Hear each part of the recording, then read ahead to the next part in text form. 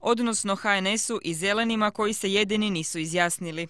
Nama je naročito zanimljivo što izgleda da će i Savez zelenih glasati dići ruku za golf, što je vrlo neobično, sigurno da glasove i mandat nisu dobili za takav način odlučivanja. A odlučivat će sutra iza 17 sati kad je na rasporedu ključno zasjedanje gradskih vijećnika. Iz inicijative Volim Pulu pozivaju sve građane da im se u 16.30 pridruže ispred komunalne palače. Svoje protivljenje privatizaciji muzila iskazalo je sad gotovo 5200 puljana.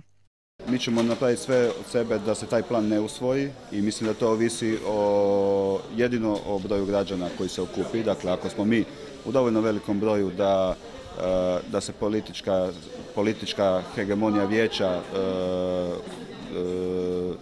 uplaši zapravo i da kad postanu svjesni da ne mogu svoje odluke bez ljudi provoditi u nedogled, u tom slučaju taj plan definitivno neće proći a plan neće proći ukoliko za njega ruku ne dignu zeleni HNS, odnosno koalicijski partneri IDS-a.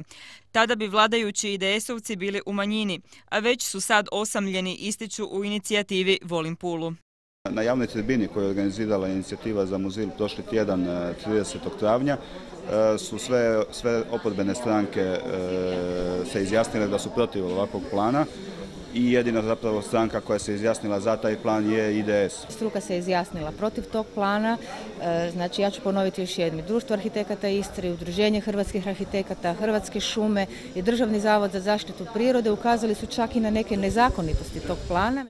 Muzil bi se, kako zgrade ne bi propadale, trebao početi koristiti, jer su, podsjetimo, devastirane ostale zgrade Pulske obale. Što će se dogoditi i muzilu kad odu vojne straže, kaže Radojčić. Međutim, ono što se pokazalo na sjevernom dijelu Pulske luke je da i država i grad ta područja devastiraju namjerno. Jednostavno ih ostavljaju bez ikakvog nadzora i bez ikakve svrhe i korisnika, prepuštaju ih vandalima. Ako odluka prođe, iz inicijative ne odustaju. Na forumu će organizirati zbor građana, te tako na javnom prostoru dogovoriti buduće akcije i zahtjeve.